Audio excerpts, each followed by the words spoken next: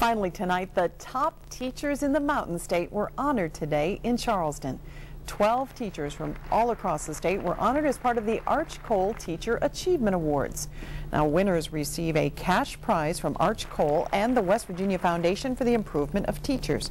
The West Virginia Teachers Association also makes a donation to the schools of the winning teachers for use with at-risk students.